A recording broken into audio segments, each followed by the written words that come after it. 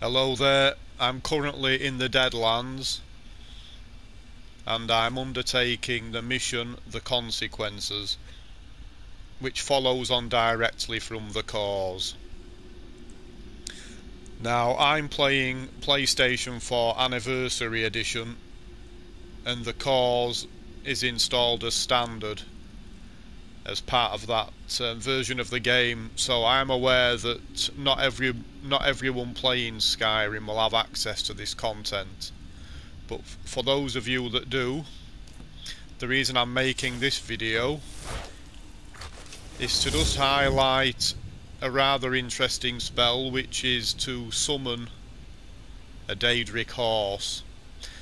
And to obtain this we need to defeat a Dremora I'll go into more detail about him once we've dealt with him.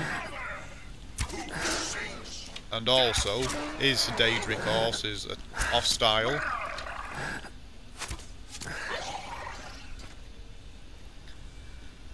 So there we are, that's him and his horse dealt with.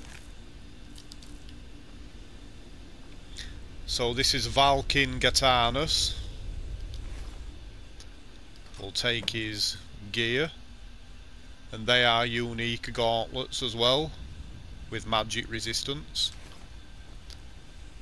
And the spell tome is in one of these containers.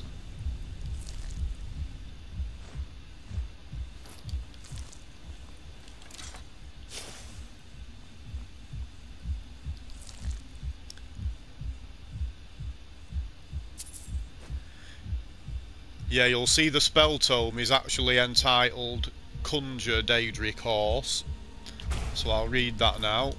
But I'm pretty sure it shows up in the spell list as Summon Daedric Horse.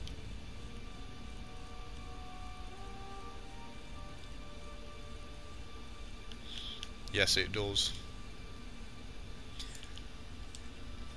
So I am aware that you can return to the Deadlands after completing this mission, but I'm not sure whether this spell book will respawn, so I think it's best to be on the safe side and grab it while you're here on the first run through. So I'll summon him now. Just like Arvak, he sticks around for about 60 seconds if he's unmounted but he is a higher level than Arvak. He's quite a bit tougher. So I think he's actually a superior spell. So there we have it. I'll just jump off. And we also have the added bonus that we can use him to level our archery skill, or I suppose any other offensive skill. It will become hostile eventually. There we are. But he's not going to inflict much damage, so we can just rain arrows down on him.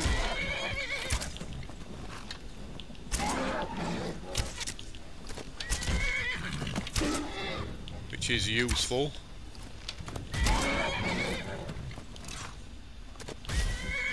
Now we can also because I have the Twin Souls perk. Where are we? Just show you that. Yes, I have the Twin Souls perk, so we can actually cast him twice. I don't know why you would want to do that, but you can see I've got one of them jump into my defence. He actually doesn't count as an undead summons because um, you'll see that I'm wearing a chest piece which has the Empower Necromancy um, effect. So I should be able to conjure another lesser reanimated undead. And um, yeah, so this is only an apprentice level spell, so in theory it should let me have three but it won't. It only lets me have two. So, yeah, I think the game is recognising the Daedric horse as an actual real horse. But there we are. I hope people have found that useful and um, hopefully you managed to claim this lovely spell yourselves. Thank you very much for watching.